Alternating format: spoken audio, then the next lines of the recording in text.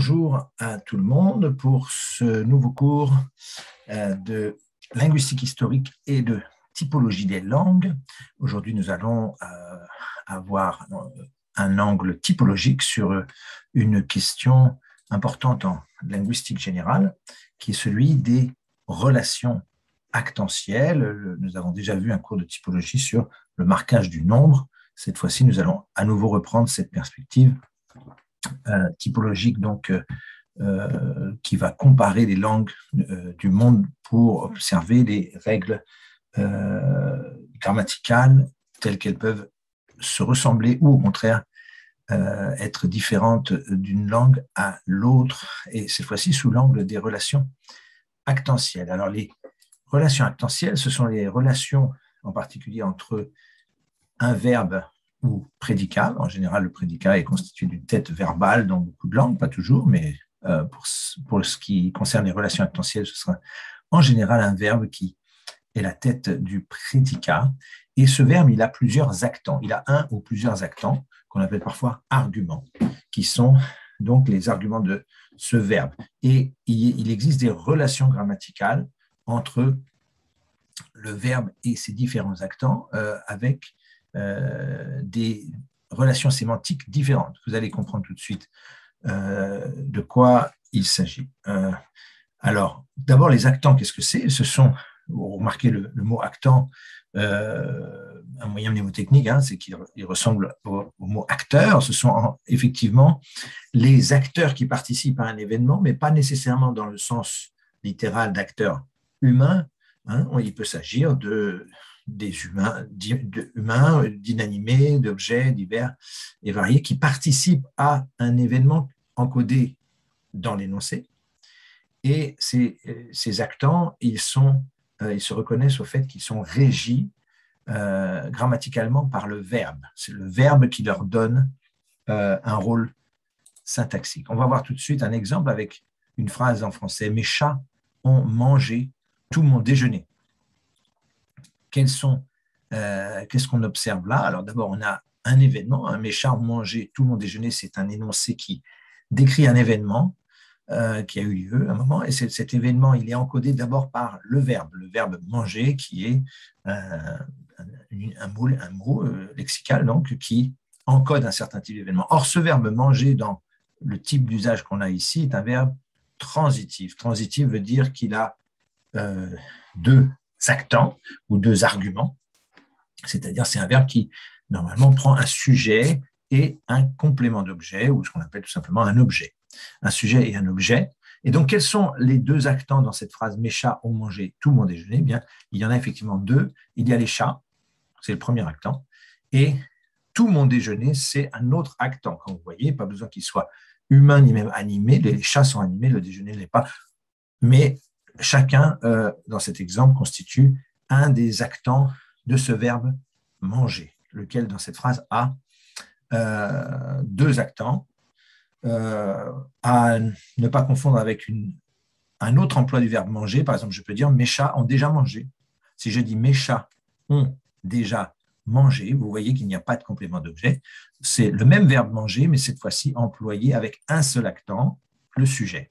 Hein. C'est un emploi intransitif du verbe manger, d'accord Tandis que si je dis mes chats ont mangé tout mon déjeuner, euh, nous avons un emploi transitif avec deux actants.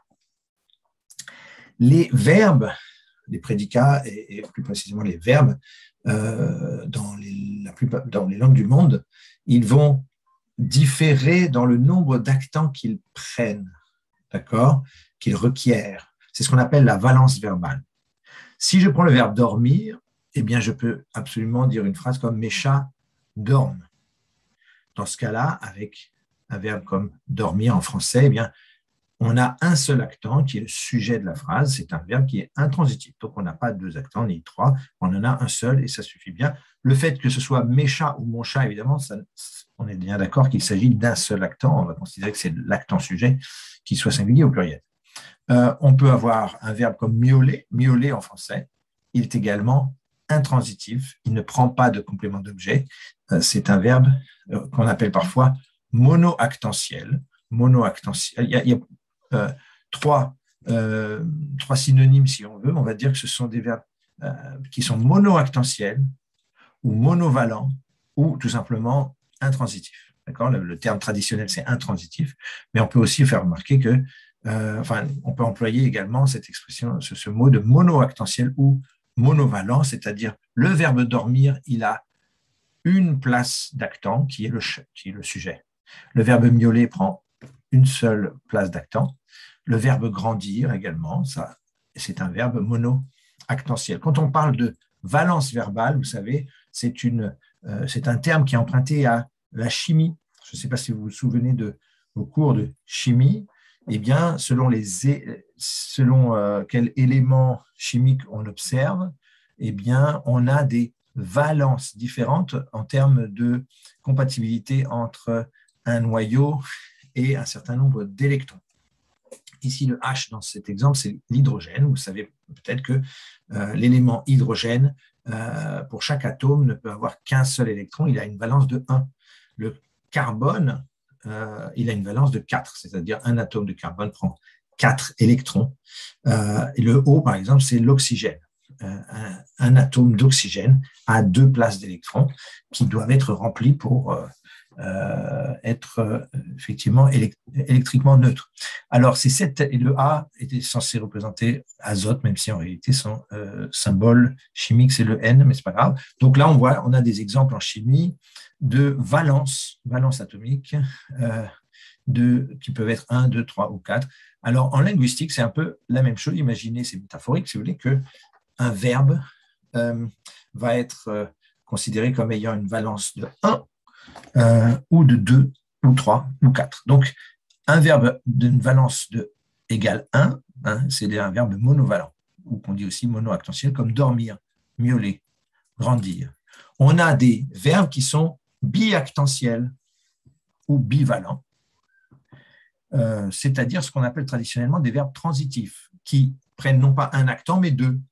On en a vu un tout à l'heure, mes chats ont mangé tout mon déjeuner, c'est ce verbe-là, avec un autre exemple un peu synonyme, euh, qui est mon chat a mangé une souris, d'accord, ou j'ai aperçu un cerf. Hein, le verbe apercevoir, c'est un verbe transitif. Si je dis j'ai aperçu, c'est une phrase qui n'est pas terminée, qui n'est pas bien formée, parce que apercevoir exige d'avoir un complément d'objet. La définition des verbes transitifs, c'est qu'ils ont besoin d'avoir un complément d'objet. Ils sont biactentiels, ils ont besoin de, de deux actants euh, qu'on peut éventuellement représenter comme, soit sous la forme des atomes à votre droite, si vous voulez, comme l'atome d'oxygène qui a besoin de ces deux électrons.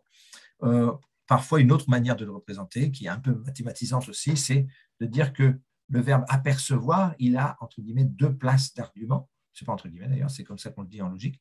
Le verbe apercevoir a deux places d'argument, qu'on peut représenter x et y. Autrement dit, pour être bien employé dans une phrase bien formée en français, eh bien, le verbe apercevoir a besoin d'un X et d'un Y, un sujet et un objet. D'accord Voilà. Et ça, c'est des exemples de verbes biactentiels. On a aussi des verbes qui sont triactentiels, euh, trivalents, qu'on appelle pour. Alors, si on emploie le terme traditionnel, ce sera un dit transitif. Dit transitif, c'est qui a besoin non pas de juste d'un objet, si vous voulez, mais de euh, trois actants au total, c'est-à-dire un sujet, un objet, et ce qu'en français on va appeler souvent un objet indirect, et puis dans d'autres langues ce sera peut-être un double objet, mais en tout cas on parle de verbes qui euh, font référence à trois participants. Exemple, le verbe donner. Le verbe donner, j'ai donné un chat voisin, décidément j'aime bien les chats, euh, j'ai donné un chat au voisin, quels sont les actants hein, Vous pouvez vous-même réfléchir. Eh bien, il y a il y a je, qui est le sujet de la phrase, qui, est l'agent de cet acte de don. Le donneur, c'est je, c'est moi. Le, euh, l'objet, le complément d'objet direct, ou ce qu'on appelle en linguistique tout simplement l'objet, c'est le chat, qui est l'objet du don, qui est le don lui-même. Et puis le voisin, c'est le destinataire de ce don. Et effectivement, si on réfléchit, un, don, le verbe donner, n'implique jamais que un seul ou deux participants, mais toujours trois parce qu'il y a toujours le donneur, le cadeau, si vous voulez, le don, et puis euh, le donataire ou le destinataire de ce, euh, de ce don. C'est pourquoi on va dire que apercevoir, c'est un verbe biactentiel, il a besoin de deux actants, l'agent et le patient, ou le sujet et l'objet. Euh, alors qu'un verbe comme donner est triactentiel, dit transitif si vous voulez, d'accord euh, dit transitif, ça veut dire qu'il est transitif en requérant un objet, mais il est dit transitif au sens qu'il requiert deux objets. Ou voilà. Donc, finalement, dit transitif est un peu plus compliqué à expliquer que trivalent. Trivalent, on comprend tout de suite la notion monovalent, bivalent, trivalent. On peut représenter ça comme donner, euh, qui est un prédicat à trois places d'argument. Euh, donner x, y, z. Et pareil pour rendre, évidemment, pour des raisons évidentes. D'ailleurs, euh, d'accord, rendre, c'est la même famille sémantique que donner. On, rend elle m'a rendu mon argent, par exemple, c'est elle qui a rendu argent à moi. Ça fait trois personnes. Les verbes trivalents les plus euh, fréquents dans les langues, c'est donner, dire et montrer. D'accord? Si vous montrez, de dire il a montré sa maison. Euh, c'est une phrase qui est plus ou moins euh, mal formée parce qu'on a, exprimé que deux actants sur les trois. D'accord?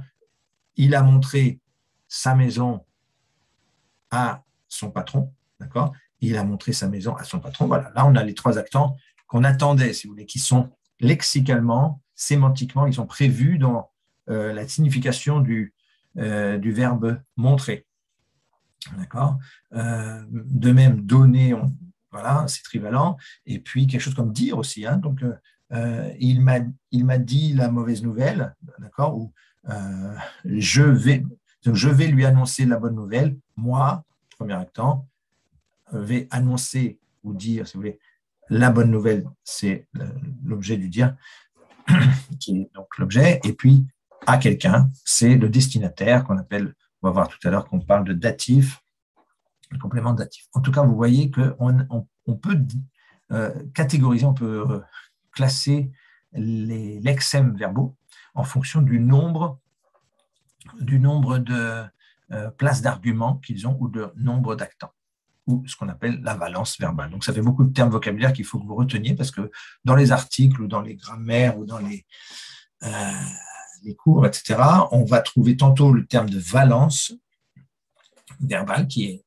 inspiré de la chimie, mais on l'emploie en linguistique assez couramment, euh, en syntaxe, d'accord, la valence verbale, ou bien le nombre de places d'arguments, ou euh, on parle aussi donc le, nombre d'actants, euh, ce qu'on appelle aussi l'actance. Il y a un livre célèbre, un ouvrage célèbre de Gilbert Lazare qui s'appelle L'actance, L apostrophe, d'accord, actance, eh bien, qui, qui décrit effectivement, qui, est vraiment un exemple d'ouvrage de, typologie qui compare les langues autour de ces questions. Alors, on vient de voir des exemples simples de verbes monoactentiels, biactentiels, triactentiels, parce que ça donne une idée un peu de comment ça fonctionne. Euh, tout de suite, brièvement, j'ai envie de vous d'attirer votre attention sur le fait que ce n'est pas toujours si facile de déterminer le nombre d'actants euh, euh, liés à un verbe. par exemple, on a vu un exemple très simple, mes chats ont mangé tout mon déjeuner. Clairement, on a deux actants, les chats et le déjeuner.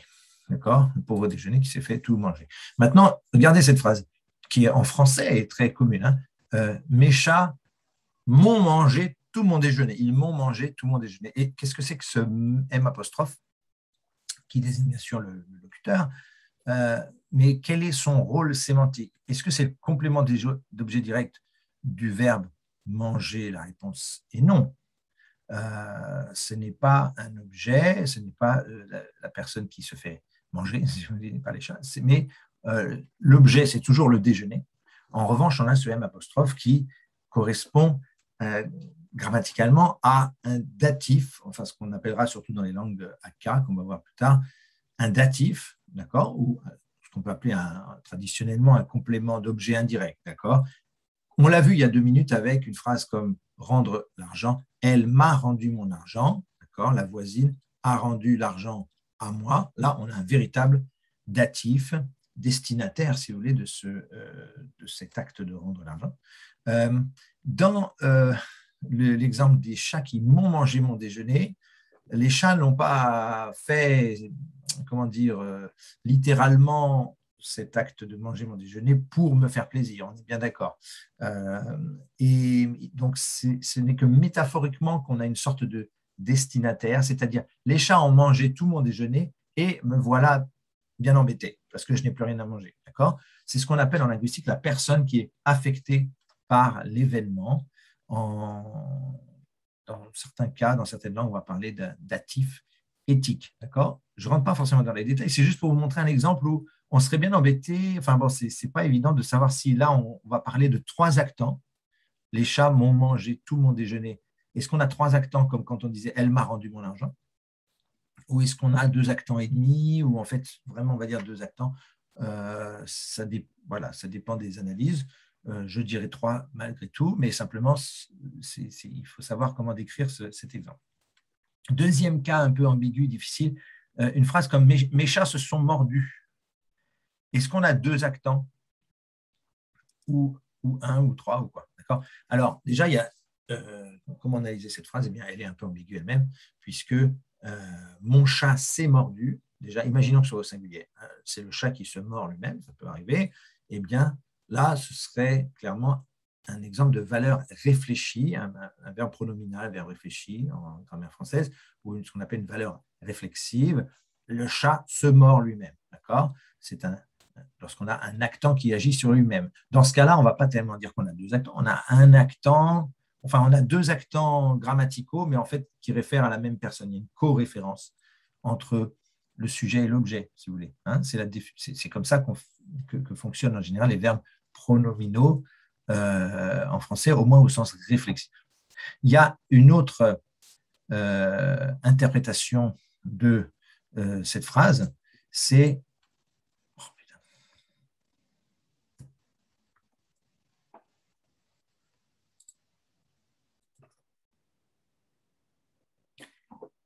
Alors, dans le cas de mon chat c'est mordu, on peut avoir donc cette euh, interprétation réflexive, euh, c'est-à-dire un chat qui se mord lui-même, et on peut imaginer la même chose au pluriel, les chats qui se mordent eux-mêmes. Et puis, il y a une autre interprétation du pronom réfléchi en français, c'est la valeur réciproque, c'est-à-dire mes chats se sont battus et se sont mordus l'un l'autre. Dans ce cas-là, on a deux actants, hein, euh, un qui agit sur l'autre et vice-versa, un actant, un chat qui mord l'autre et vice-versa. D'accord? Euh, c'est typique des constructions réciproques. D'accord? Donc là, on va parler de deux actants, mais vous voyez que la description même de l'actance est intéressante ici et euh, pas évidente. D'accord? Troisième exemple d'ambiguïté, c'est quelque chose comme elle promenait son chien en forêt. Là, il n'y a pas de problème, c'est le verbe promener, une dame qui et son chien, voilà, ça fait deux actants, euh, elle le promène qu'est-ce qu'on fait d'une phrase comme Elle se promenait en forêt Elle se promenait en forêt. Euh, soit on dit qu'on a également ici deux actants, elle qui promène quelqu'un dans la forêt et ce quelqu'un, c'est juste euh, par hasard, c'est elle-même. Donc d'accord, comme si se promener, c'était se prendre par, par l'épaule et puis se, se, promener en forêt. Donc ça, ce serait une sorte de lecture littérale de se promener, un peu comme se mordre ça veut dire je fais une action sur moi-même.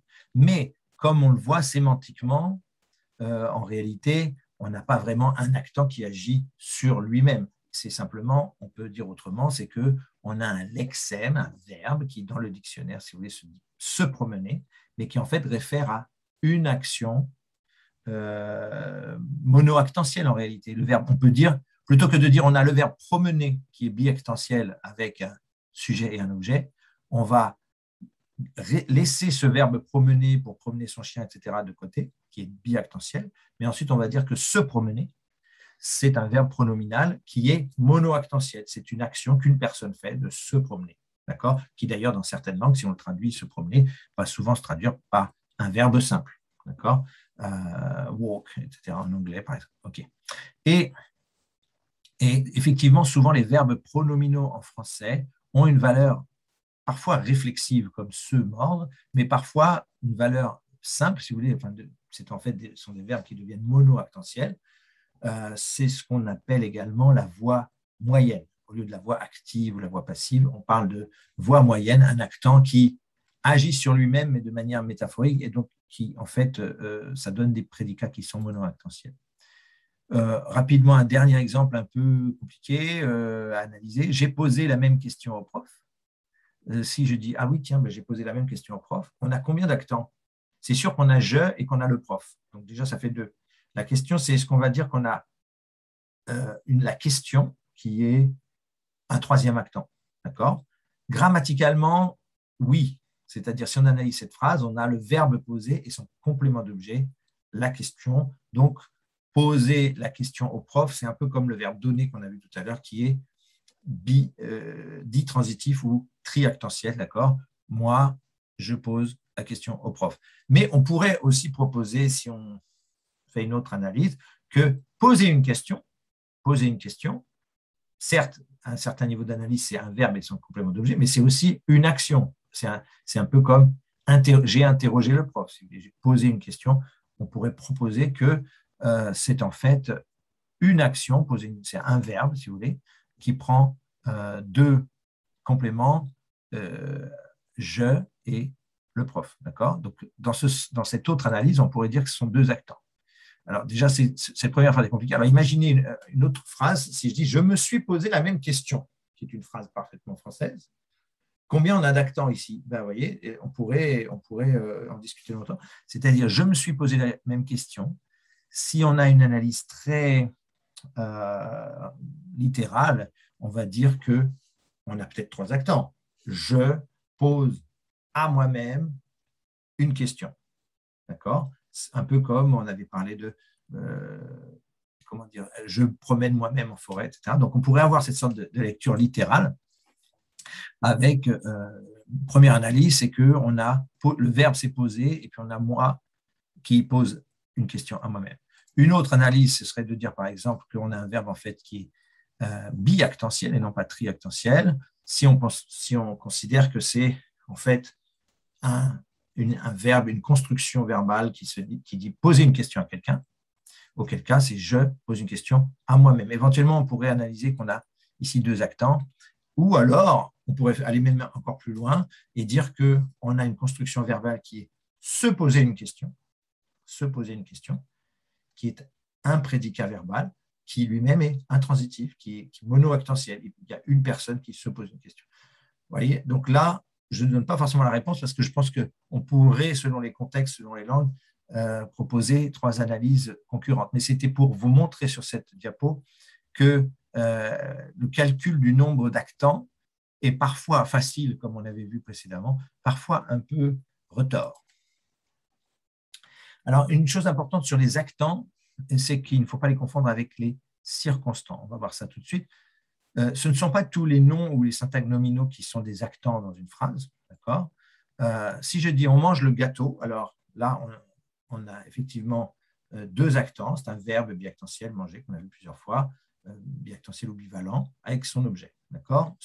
On a deux actants. Mais si je dis on mange le midi, on mange le midi en français, est-ce que le midi, c'est ce qu'on mange? La réponse est non.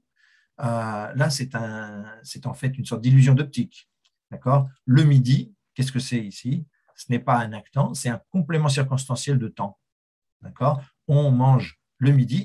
Ici, on a le verbe manger dans son emploi intransitif, monoactentiel. On, on, prend le déjeuner, si vous voulez.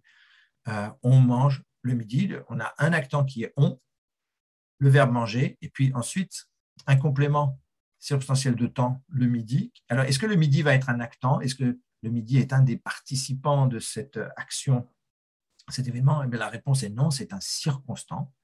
Euh, c'est-à-dire, euh, ce n'est ni le sujet ni l'objet euh, du verbe manger, c'est un, un complément qui décrit une des circonstances de l'événement.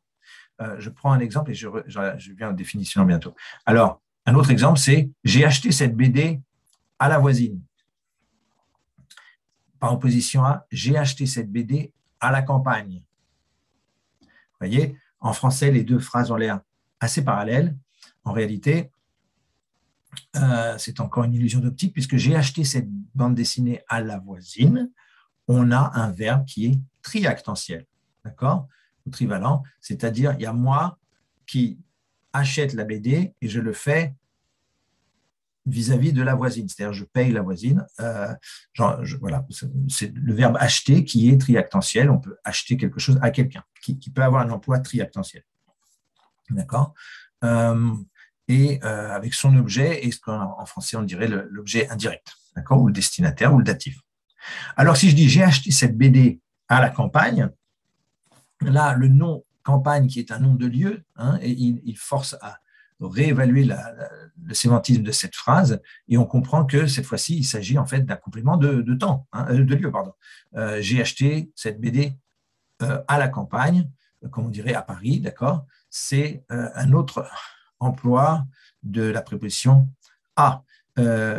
du point de vue du verbe, si on regarde le verbe acheter, dans la première phrase, il est trivalent, dans la deuxième, il est bivalent parce qu'on n'est pas toujours obligé d'exprimer la personne à qui l'on achète. D'accord? Qu'en est-il des définitions? On va dire que les actants, ce sont les éléments nominaux d'un énoncé et qui sont requis. Requis veut dire rendu obligatoire par la valence du verbe. Le verbe qui va rendre obligatoire l'expression, par exemple, d'un sujet et d'un objet. Et surtout, parfois, ils ne sont pas obligatoires, mais l'actant, c'est celui qui n'est interprétable sémantiquement qu'à travers le verbe. Je vous explique. Euh, si je dis j'ai acheté, j'ai donné la bande dessinée à la voisine, j'ai donné la bande dessinée à la voisine, on comprend que ce à la voisine, c'est la personne qui est destinataire d'un don. OK, parce que le verbe donner, c'est ça que ça veut dire. Alors que j'ai acheté la bande dessinée à la voisine, j'ai acheté cette BD à la voisine, c'est le contraire, ce n'est pas elle qui va recevoir le don, elle va euh, être bénéficiaire, si vous voulez, de la transaction, mais finalement, c'est n'est pas elle qui va être la propriétaire de la BD, au contraire, euh, elle va me la donner. Donc, ce que je veux dire, c'est que à la voisine, c'est ambigu en soi. Si on n'a pas le verbe, c'est ambigu. On ne sait pas si à la voisine veut dire que c'est quelqu'un qui bénéficie, quelqu'un qui va acquérir un nouvel objet ou pas ou le perdre, ou s'en débarrasser, etc. D'accord? Par exemple, je peux dire aussi, euh, ils, ont volé ils ont volé la voiture à la voisine. D'accord? Ils ont volé tout son argent à la voisine. Euh, là, c'est voler quelque chose. Donc, euh, ce que je veux dire, c'est que l'expression à la voisine n'a pas de sens si on n'a pas le verbe. D'accord? Seul le verbe voler ou donner ou rendre ou acheter va permettre d'interpréter quel est le, que, quel est le sens de, à la voisine? Quel est le rôle sémantique On appelle ça le rôle sémantique euh, qu'a la voisine? Est-ce que c'est celle qui, euh, qui euh, achète, qui acquiert, qui vend, qui, qui a perdu, qui s'est fait voler? Voilà. Et c'est le verbe, c'est la valence verbale, enfin, pardon, c'est le lexème verbal qui va vraiment déterminer quel est le sens de tel ou tel complément. Et ça, c'est à ça qu'on reconnaît les actants. C'est que c'est pour ça que je dis, ils sont interprétables sémantiquement grâce au verbe lexical. D'accord? C'est là qu'on comprend quel est le rôle de la voisine dans l'événement. Alors que si je dis à la campagne, à la campagne, ce sera toujours un locatif, si vous voulez. À la campagne, il n'y a pas d'ambiguïté. Euh, il n'y a pas besoin de, quel que soit que ce soit, j'ai acheté euh, ce livre à la campagne, ils ont volé ce livre à la campagne. Voyez, quel que soit le verbe qu'on modifie, euh, le, syntagme à la campagne aura toujours le même sens de circonstance de lieu. Euh, donc les circonstances sont des éléments facultatifs qui ne sont pas rendus obligatoires par le verbe et en plus qui sont interprétables sémantiquement indépendamment du verbe. D'accord? Exemple à la campagne, exemple à midi. À midi, ce sera toujours euh, un complément de temps. voilà. Donc, parfois, c'est assez subtil de distinguer entre actants et circonstants, mais en général, hein, les actants, ce sont les sujets, les objets, les objets indirects, en gros, c'est ça, ou, les destinataires, alors que les circonstances, ça va être le temps, le lieu, euh, des choses comme ça. Alors, c'est du point de vue, euh, comment dire, sémantique, intellectuel, on va pouvoir euh, souvent reconnaître la différence entre actant et circonstant, mais parfois on n'est pas aidé par les, certaines langues qui ont des morphèmes ambigus. Exemple, on vient de voir l'exemple, en français, cette préposition à, parfois elle marque des actants, parfois des circonstants. On a vu à la voisine, à toi, d'ailleurs je te le donne à toi. Ça c'est un actant. Je donne ce, cadeau à toi. le sens de à toi, ça veut dire, dépend du verbe donner, d'accord? Et euh, clairement, à toi est un actant de l'acte de donner, d'accord? C'est le destinataire du don. à la voisine, c'est pareil. Alors que le même à va se retrouver dans à la campagne, qui est un nom de lieu, à Nouméa, c'est un lieu, à 8 heures, c'est un complément de temps. Voilà, donc les langues sont parfois assez, comment dire, mystérieuses, ou en tout cas, elles, nous tentent des pièges. Voilà, donc ce, A, il est pas, tantôt il, introduit un accent, tantôt un circonstant. Figurez-vous qu'il n'y a pas que le français qui fait des choses bizarres, on a aussi des langues du Pacifique qui ont des ambiguïtés similaires. Je prends l'exemple du tahitien. Le tahitien est intéressant parce que euh, il va avoir une préposition i en tahitien qui est très ambiguë, qui est très fréquente dans, tous les verbes, dans toutes les phrases, je veux dire, et euh, qui est souvent ambiguë entre plusieurs fonctions. Par exemple, si je dis j'ai vu ce chat, j'ai vu ce chat, d'accord, euh, hier par exemple, eh bien, on a un verbe voir qui est transitif, qui est bivalent. On est bien d'accord. Il y a moi et le chat. Itevao, D'accord? Eh bien, le sujet, euh, c'est vao, première singulier. Et puis, le chat, il est introduit par une préposition i, qui dans ce cas marque ce qu'on peut appeler l'objet. C'est l'objet du verbe voir, c'est un actant. C'est, d'accord? Iteye c'est le chat.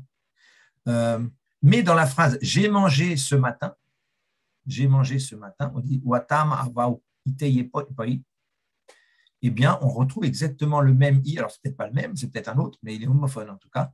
On a une, autre, une préposition i qui, cette fois-ci, c'est la marque du locatif, d'accord euh, Du complément circonstanciel euh, de temps, en l'occurrence. J'ai mangé ce matin. Et donc, on a combien d'actants dans cette deuxième phrase? Eh bien, on a un seul actant avec le, sens intransitif du verbe manger, d'accord euh, Donc, un verbe monoactentiel dans ce cas-là. J'ai mangé, et puis un circonstant locatif, d'accord Locatif au sens euh, temporel en l'occurrence.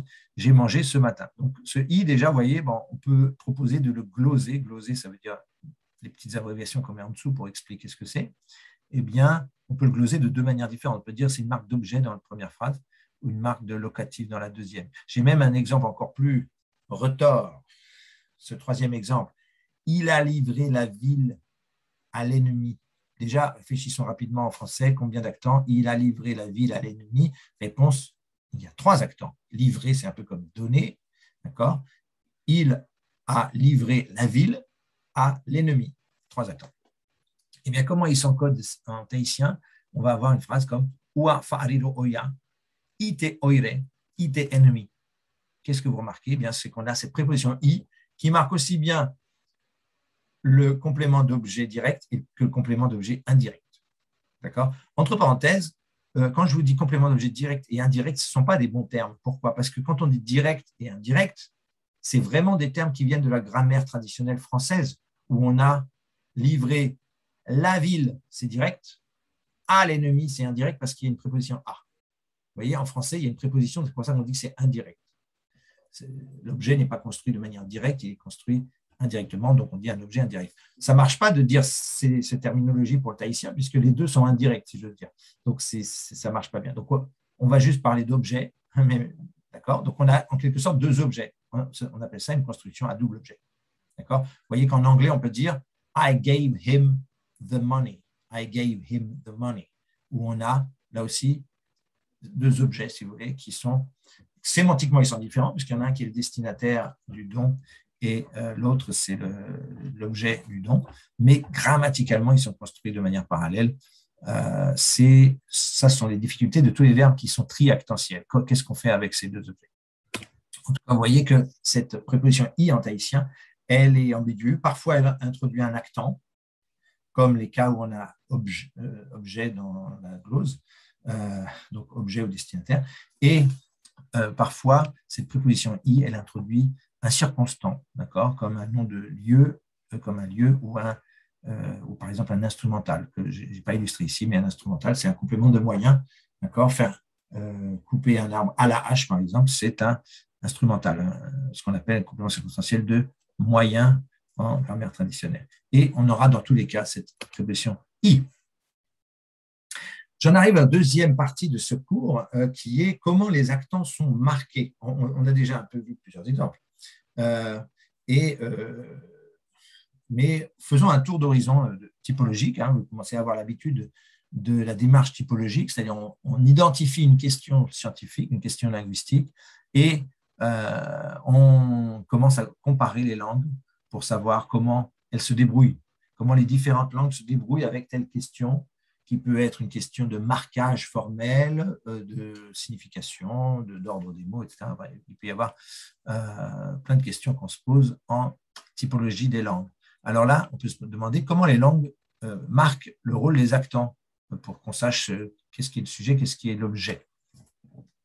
Alors, on a vu quelques exemples où c'était une préposition.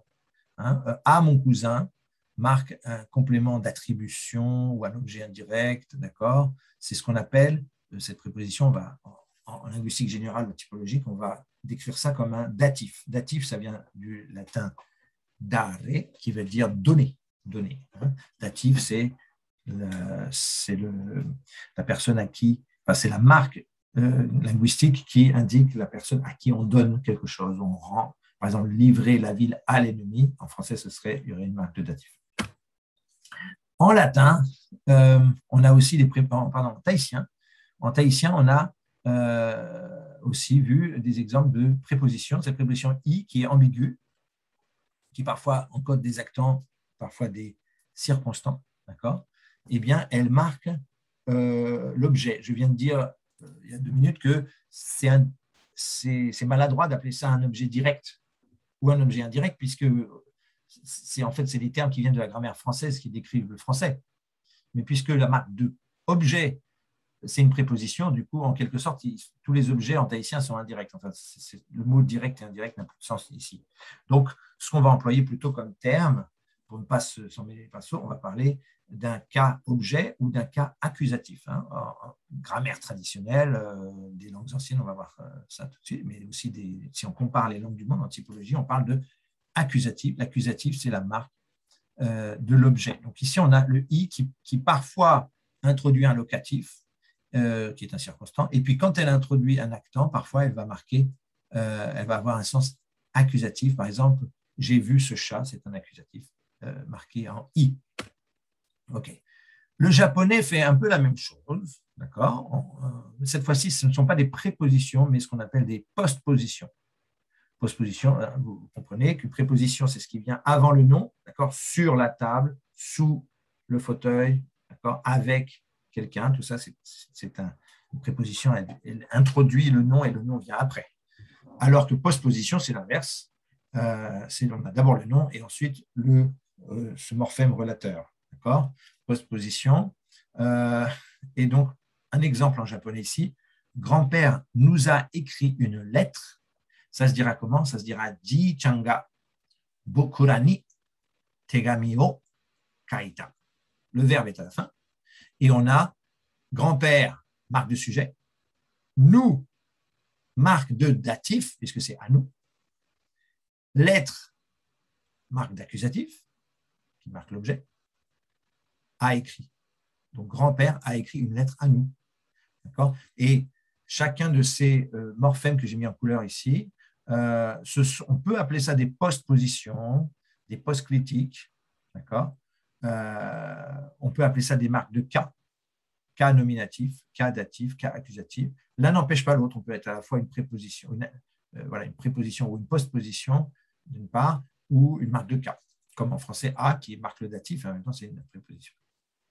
OK Et euh, comme vous savez peut-être, certaines langues ont des prépositions, d'autres ont des postpositions, mais au fond, c'est la même chose. C'est le même concept, en fait. Enfin, c'est qu'est-ce que c'est C'est un mot-outil qui gouverne un syntagme nominal, qui régit un syntagme nominal et qui l'introduit, si vous voulez, soit il l'introduit à gauche, soit il l'introduit à droite. Du coup, pour créer un, terme neutre qui inclut à la fois les pré et les post, eh bien, on a créé, ça fait longtemps qu'on emploie ce terme de adposition. Ad en latin, ça veut dire à côté, donc c'est posé à côté de syntagme nominal. C'est les adpositions. Ad pas apposition avec deux P, mais adposition, euh, qui inclut les pré- et les postpositions. C'est donc une particule qui introduit un syntagme nominal en lui attribuant une fonction syntaxique et un rôle sémantique dans l'énoncé. Euh, comme on vient de voir, normalement, le propre des, des adpositions, qu'elles soient pré ou post, c'est qu'elles n'affectent pas la forme phonétique du nom. Sur la table, c'est, d'ailleurs en français, on écrit comme un mot séparé sur espace la table. Vous voyez qu'il n'y a pas de, euh, d'influence phonétique, par exemple, ou de, euh, changement morphologique entre la préposition et le nom qui suit. Avec moi, c'est deux mots séparés dans certains cas. Je vous dis ça parce que dans certaines langues, avec moi, ça va être en fait une seule forme avec changement phonétique. Tout ça, on voit ça dans deux minutes. Et donc, on pourra parler pour le japonais peut-être de certaines adpositions qui ont une valeur dative, qui est ni en japonais et a en français. Euh, une adposition euh, une postposition qui est accusative, comme euh, le wo, d'accord? Et peut-être même le ga, on pourrait dire que c'est une adposition nominative, d'accord? Ce serait possible probablement de décrire ça. Ça commence à faire un peu bizarre de voir des, des, adpositions partout euh, c'est pourquoi, plutôt que de. On, peut continuer à les décrire comme des adpositions, mais euh, une autre manière, peut-être plus simple en quelque sorte, c'est de les décrire comme des marques de cas. ce qu'on appelle des marques de cas syntaxiques, d'accord? Des marques casuelles ou des marques de cas, parce que ce sont des morphèmes qui indiquent la fonction des actants. C'est ce qu'on a vu avec ga, ni, o, a en français, i en tahitien, tout ça, ce sont des marques de cas. Alors, on en arrive au système casuel. Le système casuel, c'est ça, ce sont des systèmes de marques de cas, des paradigmes qui font faire que dans certaines langues, on va encoder les fonctions des actants à l'aide d'un morphème, d'accord, euh, qui parfois est une adposition, comme on vient de voir, d'accord, préposition comme en français a, postposition comme en japonais avec tegami o, d'accord. Euh, ça, ce sont des adpositions qui ne font pas partie du, mot, du même mot que le nom. D'accord A, mon cousin, on a mon cousin à côté on a A. OK. Ça, on, on, peut continuer, on peut appeler ça des cas. Ce sont des adpositions qui sont marques de cas. Très souvent, en fait, il va y avoir, si vous voulez, cette marque de cas va être collée au mot, ou collée au nom. D'accord? Euh, Alors, dans certains cas, c'est juste un affixe, on dit c'est collé. Euh, à quoi comparer ça? Je ne sais pas si on n'a pas tellement d'exemples en français, mais c'est comme si, on, si avec moi s'écrivait en un seul mot avec un trait d'union. D'accord? Euh, Donc, c'est ce qu'on appelle un affixe. Hein. Affixe, c'est soit préfixe, soit suffixe. On a ça en finnois, la langue de Finlande, ou les langues australiennes. On va avoir des cas morphologiques qui sont des affixes, contrairement aux exemples qu'on a vus jusqu'ici, qui étaient des adpositions, des particules un peu séparées du, nom. Là, parfois, ils sont des affixes. Mais le cas également, c'est-à-dire le cas, puisque ce sont des marques de cas, eh bien, l'exemple euh, classique, parce que c'est dans les langues classiques d'Europe, le, latin et le grec notamment, qu'on va trouver euh, euh, des marques de cas qui non seulement sont collées au nom, mais qui changent la forme du nom, si vous voulez. Autrement dit, c'est ce qu'on appelle, vous savez peut-être, les déclinaisons. Les déclinaisons, c'est le paradigme morphologique des cas qu'il faut apprendre, en fait, un peu comme en en français, il faut apprendre les verbes, il faut savoir comment conjuguer le subjonctif du verbe avoir, etc. Il faut l'apprendre. Et eh bien, pour les langues qui ont des cas morphologiques, comme le latin par exemple, ou le grec, eh bien, eh, il, faut, euh, il faut apprendre par cœur, si vous voulez, euh, les différentes manières dont on conjugue un nom. Alors, on ne dit pas conjuguer, on dit fléchir ou décliner. comment on décline un nom? Par exemple, le mot cheval ici, eh bien, un cheval, c'est écousse. Vous connaissez en français le mot équitation, d'accord, ou équestre. Eh bien, c'est la même origine. Alors, le cheval, en latin classique, c'est equus au nominatif, donc marque de sujet. Au, à l'accusatif, c'est equum. Au datif, c'est equo. Equo veut dire donc au cheval. Je donne à manger au cheval, ce serait equo. Euh, et en fait, les, noms vont se décliner différemment, voilà, selon euh, un peu comme les, en français, vous avez les verbes du premier groupe, du deuxième groupe, du troisième groupe qui ont chacun leur paradigme morphologique différent. Alors, ça va être un peu pareil pour les noms dans les langues qui se déclinent. Donc, euh, empereur, on dit imperator, d'accord? Comme on dit l'empereur en, latin euh, de, l'époque impériale, eh bien, on dit imperator. Comme vous voyez, il n'y a pas la terminaison us qu'on avait dans ecus. C'est comme ça, c'est dans les, noms de la troisième déclinaison, ils n'ont pas de pouce. Donc, on a imperator, cette fois-ci, on peut dire que la marque de nominatif, c'est zéro pour le nominatif. Alors que l'accusatif, c'est imperatorem. On retrouve le M qu'on avait dans ecum, mais avec une autre voyelle. Et qu'en est-il du datif? Eh bien, le datif, ça veut dire si je, dis quelque chose à l'empereur, c'est imperatori. Voyez, avec le cheval, c'était une voyelle O, avec l'empereur, c'est une voyelle I. Donc, c'est vraiment quelque chose qu'il faut apprendre quand on apprend des langues comme le latin, des langues à cas, un système casuel, c'est souvent, ça va dépendre des noms, comment on décline et comment on, va encoder le cas. Mais ce qui est important, c'est que vous compreniez que le cas, ce suffixe ici, eh bien, c'est lui qui marque la fonction syntaxique, la fonction grammaticale du mot dans la phrase. Je prends un dernier, un troisième exemple, le roi. Euh, le roi, c'est rex au, nominatif, rex. Et rex, qu'on écrit rex, en fait, c'est la racine reg qu'on a dans régalien, euh, régner, vous savez en français le verbe régner, euh, le règne, etc. C'est la racine reg qui, est, qui est donc le roi. Et avec un suffixe s, rex, ok? Et puis l'accusatif regem, et puis le datif regi. Très bien. Donc là, je vous ai pris trois exemples au hasard, trois, noms au hasard, et de voir comment ils se conjuguent.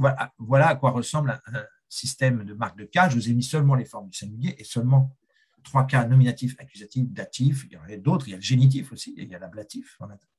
Mais pour l'instant, on fait une sorte d'introduction. Alors, ce qui est important, c'est de voir que grâce à ces suffixes, on indique euh, enfin le latin indique euh, la fonction grammaticale euh, de c'est du nom en question par le suffixe et non pas en utilisant une préposition ou une postposition, c'est vraiment la forme du nom.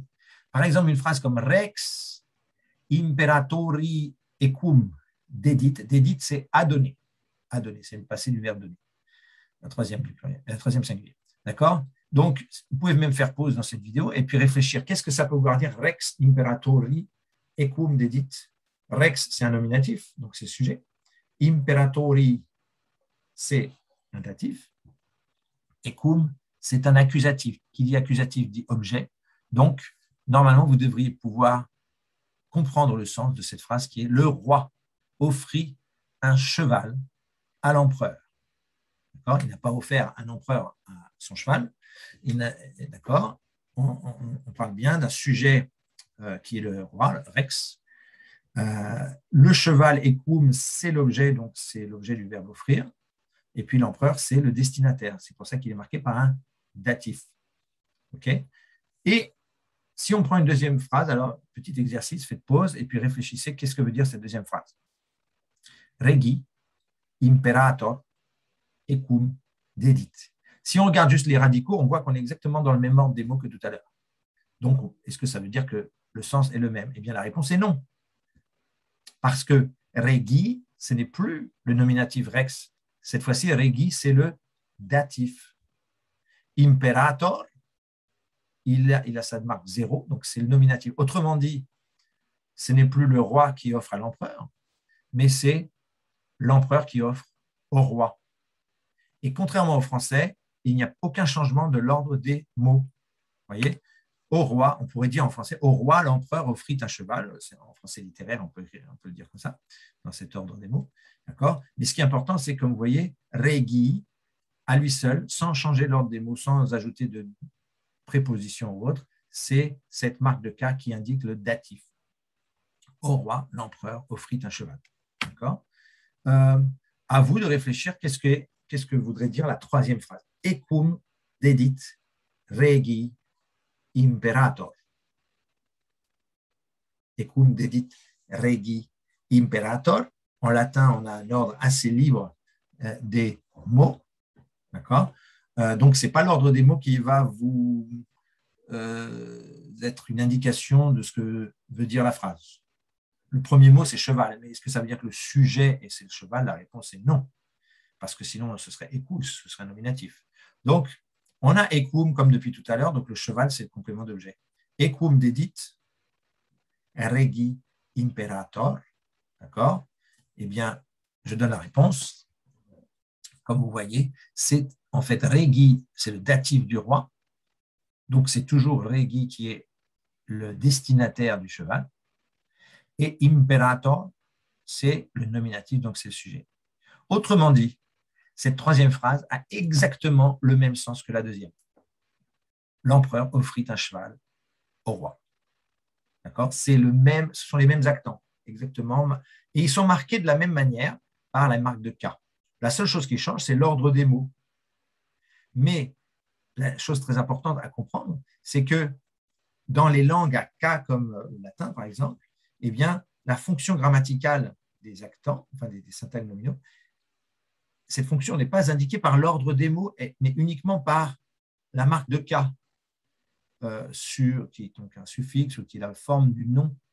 Et le fait que tel nom soit audatif veut dire que, euh, implique que c'est le destinataire de l'action, par exemple, euh, quelle que soit sa place dans la phrase. Une autre manière de dire les choses, c'est que les langues qui ont des systèmes de cas, souvent, pas toujours, mais souvent, elles peuvent se libérer de l'ordre des mots. Elles peuvent changer complètement, un peu comme la différence entre la phrase 2 et la phrase 3. D'accord? Eh bien, les, langues euh, qui ont des marques de cas, elles ont souvent un ordre libre des mots parce qu'on comprendra toujours qui a fait l'action à qui. Est-ce que c'est le roi ou c'est l'empereur qui fait l'action? C'est grâce à la forme du mot lui-même, du nom, euh, qui est décliné, qui est infléchi, qui est fléchi pardon, en, euh, en K, qui a sa marque de K, eh bien, c'est grâce à la forme du nom qu'on connaît sa fonction. Donc, ce n'est pas du tout l'ordre des mots qui fait ça. Du coup, l'ordre des mots, il est, libre et il va répondre plutôt à des, euh, questions de euh, stylistique, on peut dire stylistique, de quel est le nom, le personnage qu'on veut mettre en avant. Est-ce qu'on veut parler plutôt du cheval, de l'empereur ou, du roi, mais ce n'est pas sa place dans la phrase qui va indiquer sa fonction. D'accord? Ça, c'est important à comprendre. Alors, les systèmes de cas, comme on vient de voir pour le latin, ils sont très répandus, répandus dans les langues indo-européennes. Euh, Comme vous savez peut-être, la langue allemande, elle a des cas, elle en a quatre. C'est nominatif, accusatif, génitif, datif. Génitif, c'est la possession, d'accord? C'est nominatif, accusatif, datif, on vient de les voir. C'est respectivement sujet, objet, objet, euh, indirect ou destinataire. D'accord? L'allemand a, a, gardé quatre cas de l'indo-européen. Euh, le latin a six cas nominatif, accusatif, génitif, datif, ablatif et vocatif. Le russe a également six cas, comme le latin, sauf qu'il n'a pas exactement les mêmes, puisque euh, lui, il a un locatif pour les lieux et un instrumental pour complément de moyen. Le sanskrit, qui est une langue ancienne parlée en Inde, euh, eh bien, euh, enfin parlé, autrefois parlée en Inde, qui est l'ancêtre de nombreuses langues en Inde, ce sanskrit-là, il avait huit cas. C'est une langue archaïque, parlée il y a 3000 ans. Eh bien, euh, il avait le nominatif, accusatif, génitif, datif, ablatif, locatif, instrumental, évocatif. Autrement dit, il combine tous les cas qu'on a vus euh, dans les exemples précédents. Et je crois que l'indo-européen est reconstruit avec, est reconstruit, voilà, euh, avec 8 cas, je crois, ou peut-être un de plus. Mais voilà, on doit avoir 8 ou 9 cas en proto-indo-européen, l'ancêtre de toutes ces langues. Mais contrairement à ce qu'on peut croire, ce n'est pas que les langues indo-européennes qui ont des cas. Euh, le basque, qui n'est pas du tout indo-européen, on avait vu ça, c'est un isola, vous vous souvenez? Eh bien, euh, le basque, il a euh, des cas et également une bonne quinzaine. Une bonne quinzaine, il a, il a du génitif, du datif, il a locatif, etc.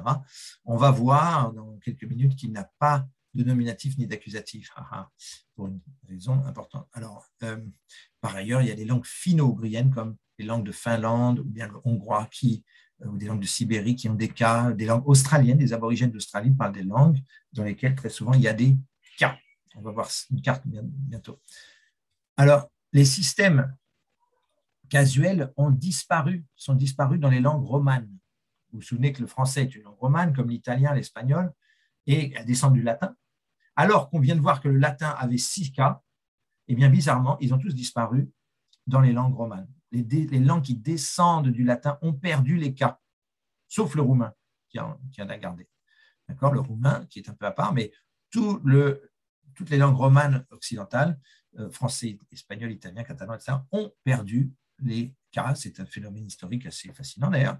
Euh, il reste quelques traces, quelques vestiges euh, des anciens cas euh, morphologique du latin. Euh, il en reste quelques vestiges en français, par exemple, mais à peine quelques miettes, et lesquelles, ben, dans les pronoms personnels. Par exemple, si je dis il le lui donnera, d'accord, le, cadeau, le, grand-père donnera le cadeau au, petit garçon, d'accord, il le lui donnera. ok Donc, ce sont trois formes différentes du pronom. Eh bien, en fait, tout simplement, ce sont des formes casuelles historiquement, c'était ça. Et on pourrait dire encore, en français, une analyse possible de ces formes, c'est de dire que ce sont des marques, des, pronoms qui sont fléchis en cas. D'accord? Donc, avec il, qui est un nominatif, c'est la marque du sujet. Le, qui est l'accusatif, à propos du cadeau, par exemple, c'est le complément d'objet. Il donnera le cadeau, il le donnera, d'accord? C'est l'accusatif. Et puis, lui donnera. Le lui, cette fois-ci, c'est un datif, c'est la forme du datif en français. Donc, il, le, lui. Donc, en français, il y a je, me, moi aussi, euh, ou il, le, lui, d'accord qui sont, euh, qui sont des exemples de formes casuelles encore, qui sont fléchies en français, qui, où, la, la, forme du mot lui-même, la forme du petit mot, donc le pronom en l'occurrence, nous, nous renseigne sur sa fonction. Si vous avez dans une phrase il, vous êtes sûr que c'est le sujet. Il, d'accord? Il, vous êtes sûr que c'est le sujet. Il ne peut pas être un complément d'objet direct, etc., parce que sinon, il aurait une autre forme. Bon, ben dites-vous que les, les, langues à K, qui ont l'air très compliquées, comme le russe, le latin, etc., en fait, elles font tout simplement la même chose que ce qu'on fait avec il, le, lui, ou je, me, moi, etc. Ils font la même chose, sauf qu'ils le font beaucoup plus euh, systématiquement sur tous les noms. Les noms, ils ont une forme spéciale pour comme sujet, une forme comme objet, une forme comme objet indirect, etc. L'ancien français, vous savez bien que l'ancien français qui était parlé, disons, entre le 10e et le 14e siècle, après Jésus-Christ, au Moyen-Âge, eh bien, c'est l'intermédiaire entre le latin et le français moderne, bien d'accord. Or, le latin avait six cas, le latin classique avait six cas, le français moderne en a zéro, si j'ose dire, ou un, euh, sauf les pronoms. Qu'en est-il pour l'intermédiaire, l'ancien français? Eh bien, la, réponse, c'est que l'ancien français euh, euh, avait réduit les six cas différents du latin à deux cas. Il y avait quand même une opposition en ancien français entre deux cas, ce qu'on appelait le cas sujet et le cas régime. Le cas sujet, comme son nom l'indique, c'était le cas du sujet, donc le nominatif. Et puis tous les autres, il y avait le nominatif d'un côté, et puis tous les autres cas, d'accord, qui étaient euh, qui ont été, comment dire, euh, fusionnés en un seul cas qu'on appelle le cas régime, qui incluait les objets, les objets indirects et tout ça. D'accord? Alors, ça, c'est l'ancien français. Si vous lisez des textes d'ancien français, vous, effectivement, chaque mot, euh, chaque nom a deux formes différentes euh, selon qu'il est sujet ou objet. On a complètement perdu ça en français. On a quelques vestiges en français, par exemple, un mot qui voulait dire monseigneur, littéralement monseigneur, eh bien, il y avait deux formes en ancien français, euh, ça se, déclinait si vous voulez. On avait au sujet une forme qui était messire, messire, mes, mes c'était mon, et sire c'est seigneur, donc messire veut dire mon seigneur en tant que sujet. Mais le même mot en tant que objet, complément d'objet direct, c'était ce qu'on appelle, ça se mettait au cas régime, et au lieu d'être une forme comme messire, c'était monsieur. Monsieur, c'était la conjugaison entre guillemets, la, la flexion de ce nom-là, qui était mot pour dire seigneur, c'était sire au nominatif et sieur à l'accusatif ou au cas régime. Et évidemment, messire est survécu dans ce mot un peu ancien aujourd'hui, messire, euh, qui est une manière de s'adresser à un seigneur. Messire, on peut dire sire, vous connaissez dans les, pièces anciennes, euh, sire ou bien messire. Et monsieur, évidemment, c'est l'ancêtre du, mot français monsieur. Euh, qui est donc euh, finalement qui descend de la forme de l'accusatif euh, en ancien français. On a quelques exemples comme ça, on pourra en citer d'autres, mais il n'y en a pas beaucoup, ils se comptent sur les doigts de, des mains. Qu'en est-il en français? Alors là, on était plongé dans le latin, dans les langues indo-européennes anciennes, puis dans l'ancien français, on était au Moyen Âge. Donc si on suit un peu l'évolution jusqu'à aujourd'hui, on a parlé en français moderne des pronoms personnels qui gardent des oppositions de cas. Mais qu'en est-il du français moderne pour lorsqu'on a des syntagmes nominaux, lorsqu'on n'a pas non pas des pronoms personnels, mais qu'on a des noms. Comment le français marque-t-il les fonctions des acteurs? Quand même, bonne question. Eh bien, la réponse, c'est par l'ordre des mots. Le français utilise, la manière de différencier en français le sujet et l'objet, c'est par la place dans l'énoncé. L'ordre des mots qui est strict. Si je vous dis le poulpe a frappé le rat, ça n'a pas le même sens que le rat a frappé le poulpe. On est bien d'accord. Et c'est par l'ordre des mots qu'on indique, euh, que, cette phrase indique euh, qui est le sujet et qui est l'objet. Donc, on peut dire que le marquage actentiel dans cette phrase, le marquage actentiel, ce n'est pas une préposition. Vous voyez bien qu'il n'y a pas de préposition ici. Ce n'est pas une marque de cas. Le mot poulpe, il a exactement la même forme euh, dans les deux phrases. Il n'y a, pas un suffixe ou un préfixe de nominatif ou d'accusatif. Donc, il n'y a aucune marque morphologique de cas. Il n'y a pas de adposition. D'accord? Il n'y a pas de préposition et de postposition. Qu'est-ce qui marque le cas euh, Comment dire Qu'est-ce qui marque euh, la fonction syntaxique des actants? Uniquement l'ordre des mots. D'accord? Euh, Et le poulpe a frappé le rat. Voilà, c'est un ordre des mots sujet, verbe, objet. On peut comparer cet ordre strict en français, linéaire, d'accord très strict en français pour indiquer euh, fonction intentionnelle. Comparez ça avec la liberté qu'on a vue tout à l'heure dans une langue à marque casuelle comme le latin. Vous vous souvenez que euh, si vous prenez une phrase comme l'empereur a donné un cheval au roi et que vous gardez exactement les formes, euh, les formes casuelles telles qu'elles sont, au datif, accusatif, et vous changez l'ordre des mots autant que vous voulez, eh bien, ça ne changera pas le sens de la phrase. D'accord?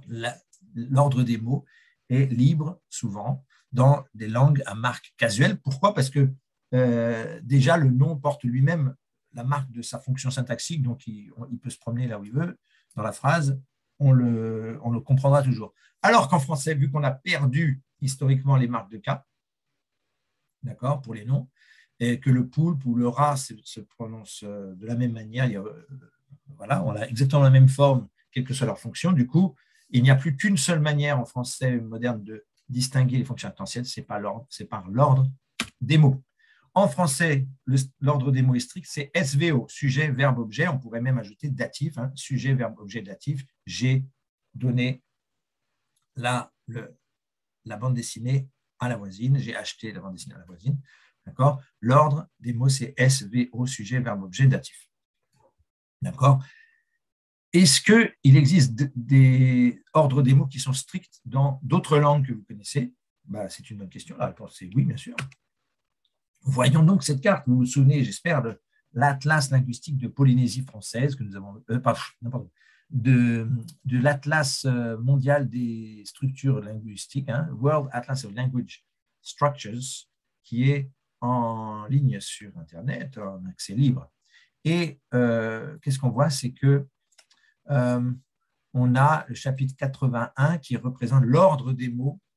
Il y avait même plusieurs chapitres en fait sur l'ordre des mots euh, dans la phrase. Et voici une belle carte bien colorée et qui nous montre des choses intéressantes.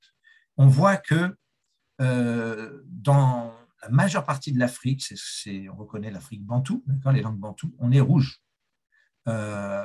c'est l'Afrique bantou, mais aussi pas mal du Nigeria, etc. c'est une zone où ce qui domine, c'est rouge. Et rouge, c'est quoi? C'est SVO, sujet, verbe, objet. Autrement dit, le même ordre qu'en français. Si on regarde l'Europe, on a également euh, du, beaucoup de rouge, sujet, verbe, objet, voilà, comme le français, mais aussi, comme vous savez, c'est pareil en anglais, c'est pareil en italien, en espagnol, en portugais. D'accord? Euh, Le russe aussi est sujet, verbe, objet. Euh, etc. Donc, ce qui est d'ailleurs étonnant, c'est que les langues euh, anciennes d'indo-européens, comme le latin ou le grec, avaient le verbe final. Hein. Donc, il y a eu un changement, comme ça, au Moyen Âge, de quasiment toutes les langues européennes pour avoir un ordre SVO, alors qu'autrefois, elles avaient SOV. C'est assez intéressant. Bon, vous avez remarqué peut-être que dans certaines phrases latines, j'avais mis le verbe à la fin. Bon, ok. Donc, l'ordre normal euh, des mots, en, enfin, le plus fréquent en, en Europe, c'est rouge, c'est-à-dire sujet, verbe, objet comme en français, sauf quelques points en jaune. Vous voyez par exemple les langues celtiques, en Irlande et tout ça, c'est VSO, verbe initial, verbe, sujet, objet. D'accord? Donna, le cheval, non, euh, verbe, sujet, objet. Donna, le roi, un cheval à l'empereur, ce genre euh, d'ordre. Et le point bleu en Europe, euh, sud de la France, c'est le basque. Le basque, il est bleu, ça veut dire SOV, sujet, objet, verbe, le verbe à la fin. C'est assez exotique en Europe d'avoir le verbe tout à la fin euh, dans toutes les phrases. L'allemand, il a ça dans certaines circonstances, mais le basque, c'est tout le temps, le verbe est tout le temps le dernier mot de la phrase. En Europe, c'est assez exotique, mais si on regarde à l'échelle mondiale, c'est en fait très fréquent. Le bleu, c'est la couleur bleue. On a ça en Inde, on a ça en, chez les Papous, en Papouasie-Nouvelle-Guinée, on a ça beaucoup en Amazonie, d'accord? Et si on regarde les chiffres, eh bien, on voit que c'est en fait l'ordre sujet-objet-verbe, comme en japonais, par exemple, ou comme en basque, eh bien, c'est l'ordre le plus fréquent dans le monde, sujet, objet, verbe, le verbe à la fin. 41% des langues du monde, euh, dans, ce, dans cette étude-là de, de Dreyer, euh, eh bien, sont des langues qui ont l'ordre SOV. 36% euh, ont l'ordre SVO comme le français. Et puis, il y a des ordres un peu plus rares, d'accord? Dans seulement quelques poignées de langues. Euh, ce qui est intéressant, c'est au passage, c'est de remarquer que certaines langues sont ici codées en gris. Ce sont les langues sans ordre dominant. C'est-à-dire, c'est impossible de savoir quel est l'ordre fixe. Euh, est-ce que c'est SV ou SOV Pourquoi? Parce que ça veut dire qu'elles ont un ordre libre. Et comme, si vous vous souvenez ce qu'on a vu tout à l'heure, eh des langues qui ont un ordre des mots qui est libre, très souvent, ça veut dire que ce sont des langues qui ont euh, des marques casuelles sur le nom et qui fait que ça libère l'ordre des mots, en quelque sorte. Euh, et euh, on voit ça beaucoup en Australie. Vous voyez, si vous voyez les langues aborigènes d'Australie, il y a beaucoup de points gris. Pourquoi? Parce que ce sont des langues qui ont des cas, qui ont des marques de cas. Donc, la fonction est indiquée. D'ailleurs, je fais un gros plan ici sur l'Australie et le Pacifique. On voit que l'Australie a beaucoup de points gris sur cette phrase qui sont des langues où l'ordre des mots est libre. Alors qu'en Papouasie-Nouvelle-Guinée, c'est pas libre, euh, c'est très souvent euh, donc des, en bleu, c'est-à-dire SOV. Mais dans les langues océaniennes du Pacifique, on est beaucoup dans l'ordre en rouge, notamment Vanuatu, c'est presque toujours SVO. Hein. les langues euh, du, nord du Vanuatu que je connais ont l'ordre sujet, verbe, objet. Dans les îles Salomon, c'est un peu plus partagé. On ne va pas forcément énumérer tous les cas, mais c'est pour montrer qu'il y a une grande variété c'est passionnant ces cartes parce qu'à la fois on voit une grande variété, d'accord, mais en même temps on voit que c'est pas complètement aléatoire. C'est-à-dire on voit qu'il y a quand même des ensembles. On a vu l'Europe était très rouge, la Papouasie-Nouvelle-Guinée est très très bleue, euh, le Vanuatu est très souvent SVO. Alors les langues euh, kanak, euh, il y en a quelques-unes, je pense. Les, on voit les loyautés dans le Jehu. Et non, non, le, le serait une langue sans ordre dominant, ça c'est intéressant peut-être parce que c'est une langue en marque de cas, il faudrait voir ça. Le Nengone serait SVO, selon cette analyse. Euh, le Yai serait SVO également. Euh, ça vaudrait le coup d'étudier parce qu'il y a une certaine variété à l'intérieur des langues kanak. Maintenant, vous vous souvenez qu'on a vu les marques casuelles. Là, on vient de voir juste des cartes sur l'ordre des mots. Qu'en est-il des, des marques casuelles? On a vu les exemples du latin et ça, souvent, quand on parle nominatif, accusatif, on pense beaucoup aux langues anciennes d'Europe, hein, euh, ce qu'on a vu, le, latin, le grec ancien, bon, le russe moderne aussi, etc. Mais en fait, il y a beaucoup de langues dans le monde qui utilisent des systèmes de cas. Hein, euh, euh, ce sont toutes les langues sur la carte qui ne sont pas en blanc. Donc, tous les points blancs ici, ce sont des langues qui n'ont pas de marque casuelle, comme le français, si vous voulez, qui n'a pas de nominatif, d'accusatif. D'accord? En revanche, le basque, c'est le point noir au sud de la France ici. Euh, c'est une, langue qui a des cas et qui en a même beaucoup. C'est plus de 10, effectivement, le, basque a une quinzaine de marques de cas. D'accord? Mais ce n'est pas la seule langue qui a beaucoup de cas. Vous voyez les nombreux points noirs, en Sibérie, beaucoup. Euh, en finnois, c'est-à-dire la langue de, Finlande, c'est des points noirs. Dans le Caucase, il y a énormément de systèmes, avec beaucoup de cas. Et chez les aborigènes euh, dans les langues australiennes, il y a de nombreux euh, systèmes casuels, en fait, avec 10, 15, 20 marques euh, de cas différents. D'accord? Et, et, puis, il y a des systèmes casuels intermédiaires avec juste 3 ou 4 cas, qui sont les jaunes-oranges ici sur cette carte. D'accord?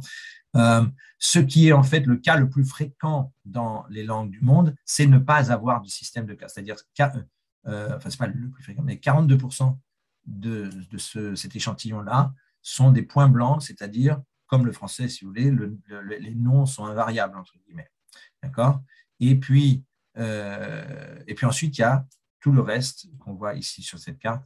Tout ce qui n'est pas blanc, eh bien, ce sont des systèmes avec euh, plusieurs cas, entre 2 cas et, et 20. Voilà. Le dernier chapitre, le dernier point que je veux voir avec vous, qui concerne complètement aussi les relations actentielles, d'accord? C'est la question de ce qu'on appelle l'alignement syntaxique. L'alignement syntaxique. Vous pouvez faire une pause et revenir euh, après un verre d'eau. Et on va parler de l'ergativité. C'est dans la continuité de ce que nous venons de, voir, qui est le marquage des marques, des, pardon, des, relations actentielles. Pour l'instant, nous avons vu un cas facile qui était les langues nominatives accusatives et on va parler un peu d'ergativité. Alors, pas de panique, on va un peu voir ça tranquillement. Euh, il y a un linguiste australien qui s'appelle Bob Dixon qui a euh, proposé euh, des abréviations, d'utiliser, de distinguer trois types d'actants. il y aura le sujet unique d'un verbe monovalent, il va l'appeler S, S comme sujet, si vous voulez. Un verbe monovalent, vous vous souvenez, c'est un verbe intransitif. Exemple, le verbe galoper, le verbe dormir. Donc, dans la phrase le cheval galopait, on a un actant qui est S. on va l'appeler S, d'accord? Euh, En français, c'est un sujet, euh, mais euh, appelons-le S plutôt que juste dire sujet, d'accord? On va, l'appeler S. le cheval, c'est S. Le bébé, dans le bébé d'or, c'est aussi, on va l'appeler S. Et puis, il y a un cas un peu différent, c'est pour les, les phrases euh, comment dire, les verbes transitifs ou bivalents, on va avoir cette fois-ci, non pas un actant, mais deux. Tout ça, c'était le début du cours, c'est facile. Donc, si je dis maman a cassé les assiettes, on a deux actants. On a maman et puis on a les assiettes. Donc, on a un verbe bivalent qui est le verbe casser. Et il a deux actants, actants 1 et 2. Euh, et l'actant 1, on va, euh, en fait, il y a des langues qui ont l'ordre des mots très différent. Donc, on va identifier sémantiquement quel est celui qui est agent. Dans casser les assiettes, d'accord Maman a cassé les assiettes, il y a un de ces deux actants qui fait l'action, qui est l'agent, d'accord Il est agentif, on dit parfois. Et puis, il y a celui qui subit l'action. Il y a l'actant qui subit l'action, d'accord euh, Qu'on appelle le patient. Sémantiquement, on l'appelle le patient. Du coup, euh, ça arrive parfois qu'on utilise comme abréviation S, A et P, sujet, agent, patient mais euh, Dixon préfère O, euh, allez savoir pourquoi. En tout cas, donc on a S, A et O. O, c'est euh, l'actant qui a le sens, si vous voulez, patientif et non pas agentif. Donc, en l'occurrence, ce serait les assiettes. D'accord? Jusqu'ici, tout va bien. OK. La question, c'est comment va s'aligner grammaticalement le sujet, l'actant le, qui est S? Est-ce qu'il va s'aligner avec A ou avec O? Alors, je m'explique. Si on compare les phrases comme les phrases intransitives comme le bébé dort et une phrase transitive comme maman a cassé les assiettes, on va se demander le bébé, il est traité grammaticalement comme euh, de la même manière que A ou de la même manière que O. D'accord? Euh, Parce que euh, alors, en français, en français euh, la réponse, c'est que S est aligné avec A. Qu'est-ce que ça veut dire? Ça veut dire que, par exemple, en termes d'ordre des mots, le sujet S en français, d'accord, est toujours vient avant le verbe, comme l'agent euh, en bleu, en maman a cassé des assiettes, c'est maman qui vient avant le verbe. Donc le A précède le verbe comme le S précède le verbe. Donc déjà, ça c'est un point commun. Mais il y a d'autres points communs. Par exemple, l'accord verbal. On voit que le bébé dort, euh, il y a un accord avec le sujet, par exemple l'accord en nombre, si c'est le bébé dort, les bébés dorment, d'accord, on voit bien que le verbe, il va s'accorder en euh, nombre avec son sujet. C'est vrai pour les phrases intransitives comme le bébé dort, ou c'est vrai aussi maman a cassé les assiettes. Les assiettes, c'est pluriel. Pourtant, la forme du verbe a cassé est singulière. Pourquoi? Parce que le verbe s'accorde avec son sujet, en l'occurrence avec le A. Donc, qu'est-ce que ça veut dire? Ça veut dire que S et A, ils ont plein de points communs en français. Le S, il précède le, le verbe. Euh, le verbe s'accorde avec le S et avec le A. Vous voyez? Donc, autrement dit, on peut dire qu'il y a une sorte d'alignement. Ça se voit d'ailleurs même visuellement. On a le verbe au milieu et à gauche du verbe, on a soit le S, soit le A. Ça correspond au schéma qui est en haut à droite ici de cette page, c'est-à-dire en français, on a un alignement, ce qu'on appelle un alignement nominatif-accusatif, c'est-à-dire on a d'une part S et A qui fonctionnent ensemble et qu'on va pouvoir encoder comme un nominatif. Et ça s'oppose à quoi? Les assiettes qui, eux, sont à droite du verbe et sont traitées différemment. Ce serait marqué par un accusatif si on était dans une langue cas.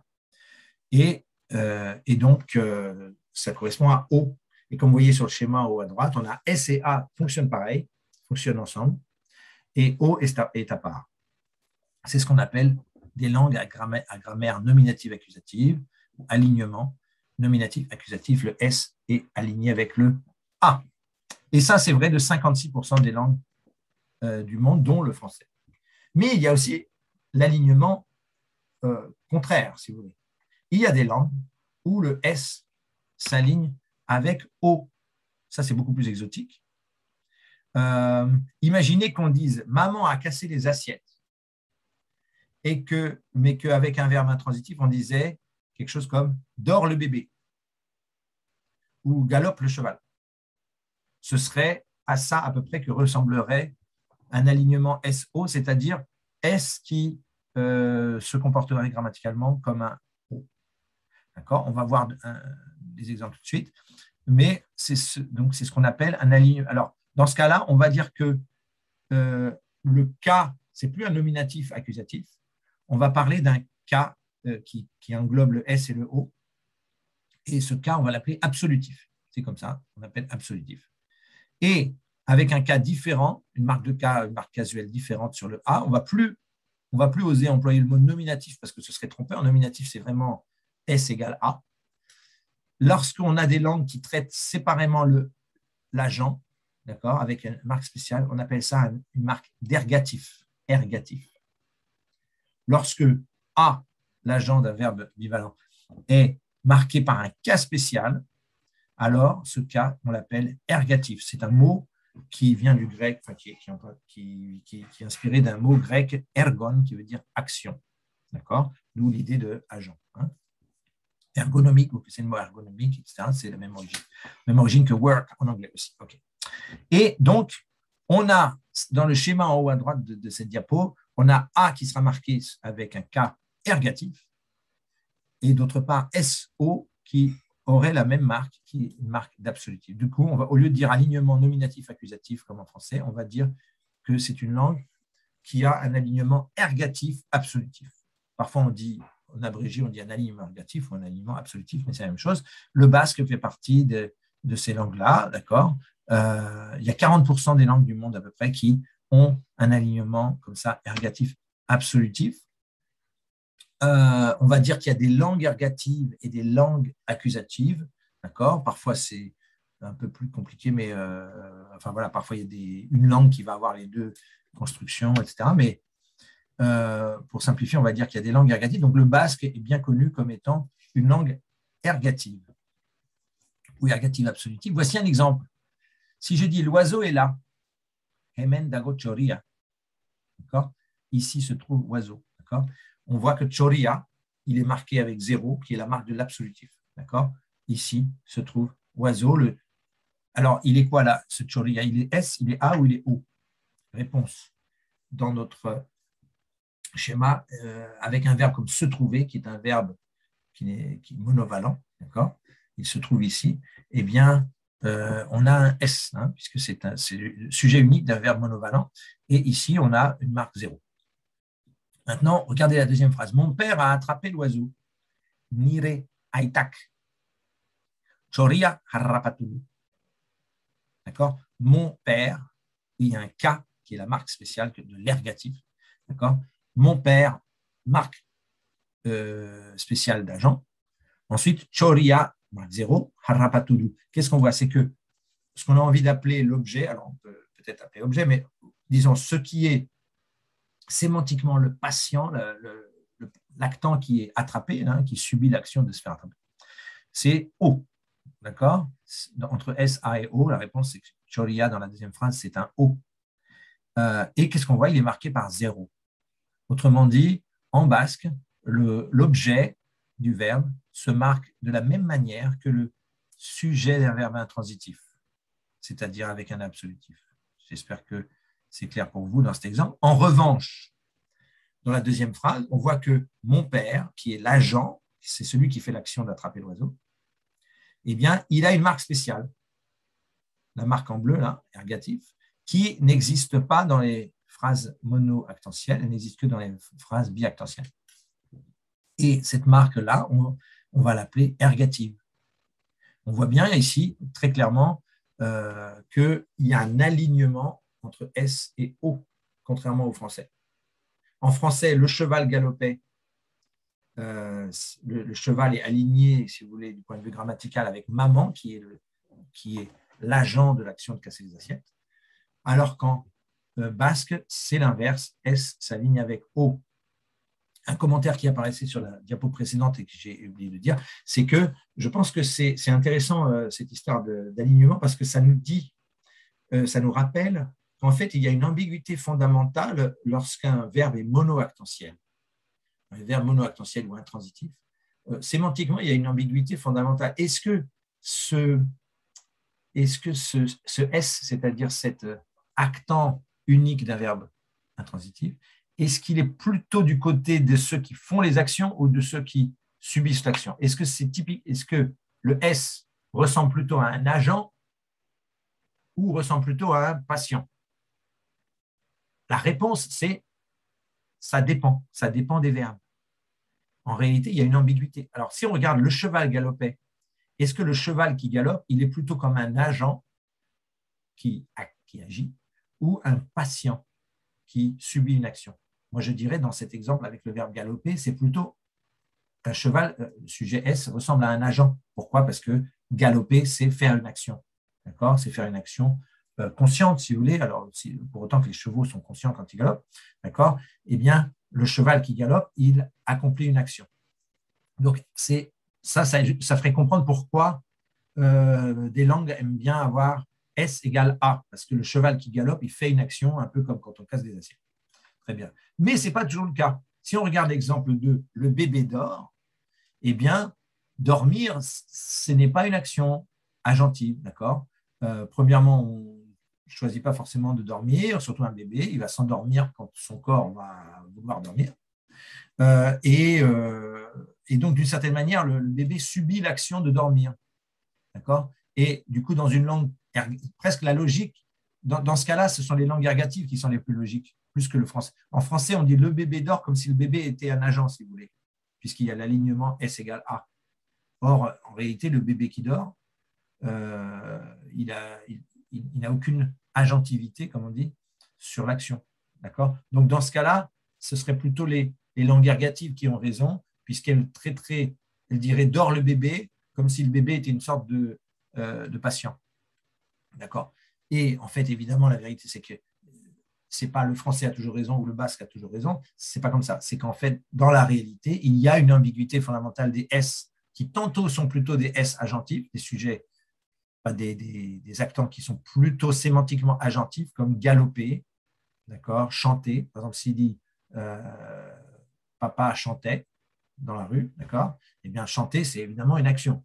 C'est voilà, c'est prendre la décision de chanter. Ou tout ce qui est les verbes de mouvement, marcher, courir, tout ça, galoper, ce sont des, des verbes monoactentiels, mais agentifs, sémantiquement agentifs. Et puis, il y a, euh, donc dans ce cas-là, c'est plutôt euh, les langues alignement nominatif accusatif qui reflètent ça. Et puis, euh, mais aussi, il y a pas mal de verbes intransitifs comme tomber, dormir, mourir, qui sont plutôt du côté de, de, sémantiquement, du côté des patients, quoi les pauvres assiettes, d'accord, elles, se sont fait casser par moment. Euh, elles n'ont rien pu faire, elles n'ont pas pu résister, elles se sont fait casser en mille morceaux. Les assiettes, dans une phrase bivalente, elles sont clairement euh, patientes, un patient dans le sens passif, quoi, elles, subissent l'action.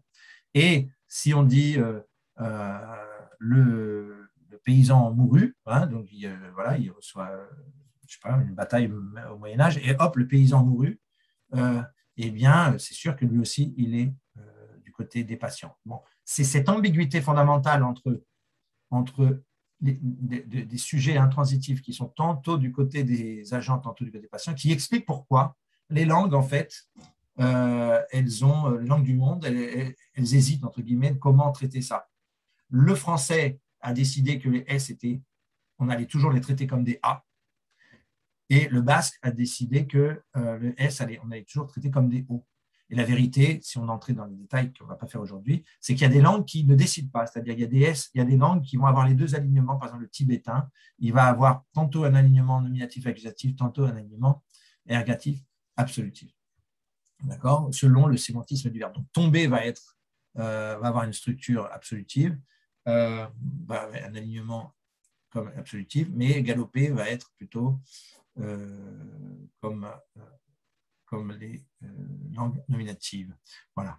Donc, on va clore ce cours aujourd'hui, hein, juste en disant, en terminant ici sur la question de l'ergativité, euh, pour dire que, figurez-vous que si vous voulez étudier les langues du Pacifique, eh bien, ça vaut le coup quand même de, bien vous familiariser de bien comprendre ce que c'est que cette notion d'ergativité, d'alignement syntaxique, parce que contrairement à ce qu'on a vu pour une grande partie de l'Afrique ou de l'Europe, où l'alignement, euh, ah non, on l'a on va le voir dans la prochaine carte, euh, où l'alignement est assez régulier, enfin toujours la même chose, etc. Dans le Pacifique, il y a pas mal de, diversité.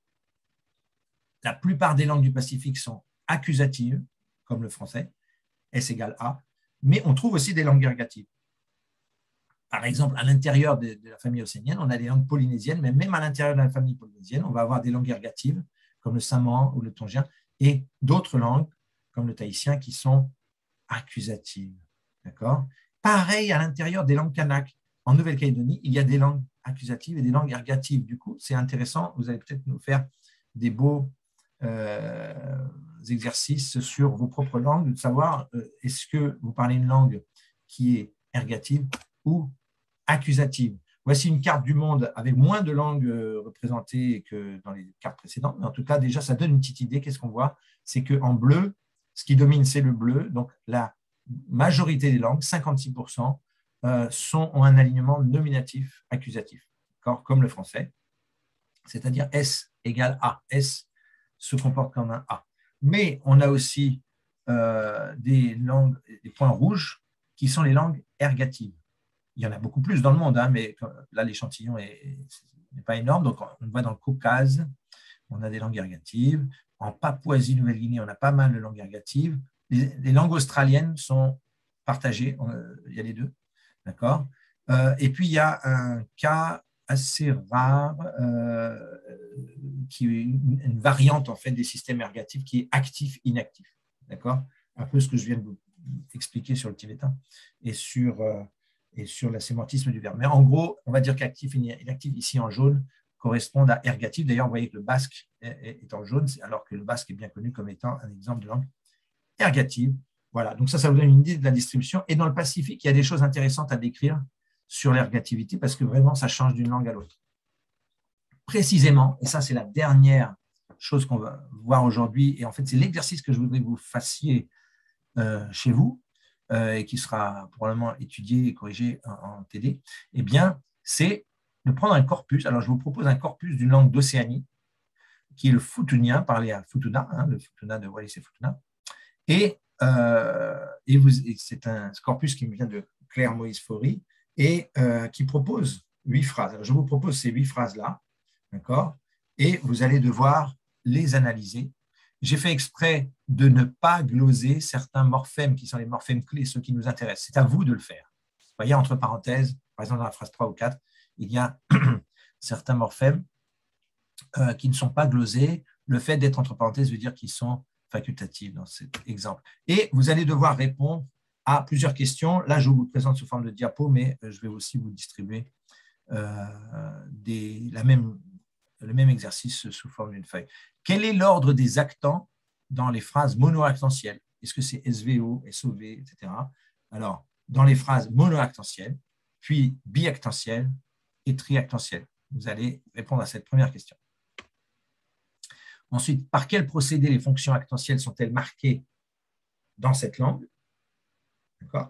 Euh, Est-ce que c'est l'ordre des mots? Est-ce que ce sont des suffixes, des postpositions, des prépositions, des marques de cas, etc. C'est à vous de me le dire, évidemment, en application du cours qu'on vient de faire.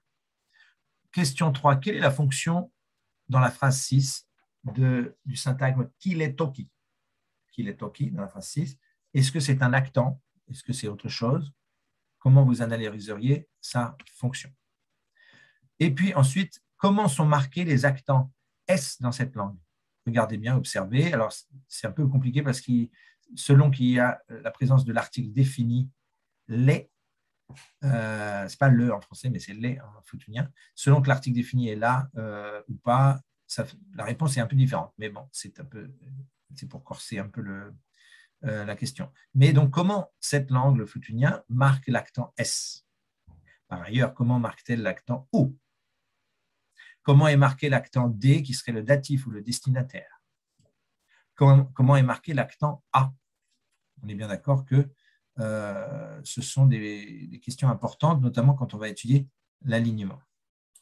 D'accord? Et dernière question, d'après ce corpus, est-ce que le foutunien présente un alignement nominatif accusatif, comme le français Oui ou non Et pourquoi? Qu'est-ce qui vous aide à répondre à cette question? Voilà, donc c'était l'exercice d'application du cours que nous avons vu. Il se trouve qu'il y a huit questions pour huit phrases. Évidemment, euh, il n'y a pas de correspondance. Hein. Chaque, question porte sur l'ensemble des phrases et vous incite à un peu comparer toutes ces phrases. C'est un, beau corpus de langues océaniennes qui va vous montrer à quel point euh, eh bien, les langues océaniennes peuvent être différentes les unes des autres si vous, comparez à vos propres langues. Donc, euh, je vous encourage à, faire, à bien écouter cette leçon et aussi à l'appliquer sous la forme de cet exercice. Et euh, on se revoit bientôt. Merci beaucoup. Merci de votre attention.